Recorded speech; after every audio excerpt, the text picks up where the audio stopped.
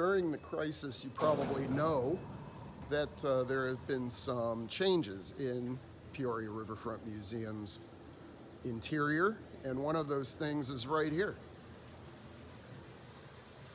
Our fish tank with our wonderful white thunder albino catfish has been moved to the IHSA room. So kids are able to see that quicker and, and, uh, and interact with our fish uh, more easily, more readily. While inside our river experience, we have an entire change going on.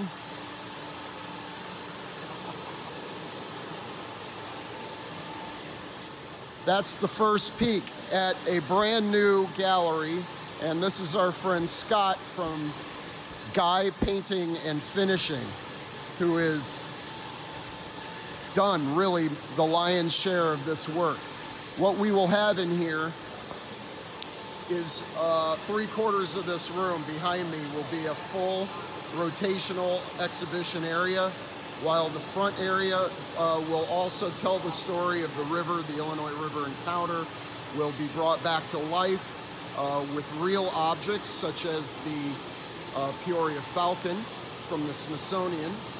Um, for the time being, uh, until the Falcon returns, we will have our second iteration of Center for American Decoys, which will be pretty much where I'm standing. But Scott from Guy Painting and Finishing, um, you can see the floor, the blue floor has been removed. The walls have been painted. We have new temporary walls coming in and it's very exciting. Great time for the museum. Um, so settle in, batten down the hatches, but get ready for a brand new museum when it's all over.